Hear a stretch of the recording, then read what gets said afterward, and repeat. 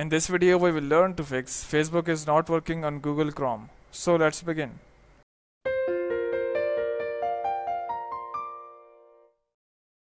So to fix the error of Facebook not working on Google Chrome what you have to do is just go and open your Google Chrome browser.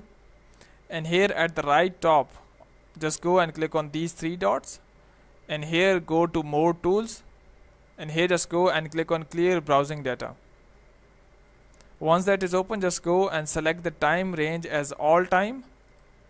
In here you can just go and uncheck this browsing history if you want to keep your browsing data uh, history data intact. And just go and check these two cookies and other site data and cache images and files. So just go and click on clear data.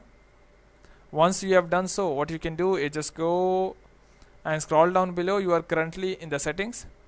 So here just go and scroll at the end if you are not seeing this at the end there might be an option of advanced. So you can just go and click on advanced and at the bottom you will see this reset and cleanup so here just go and click on reset settings to, to their original defaults.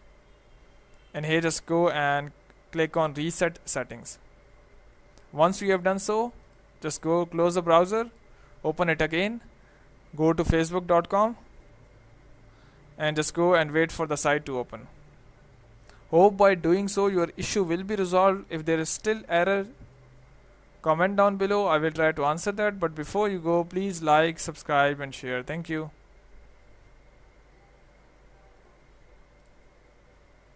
So here it is. Thank you.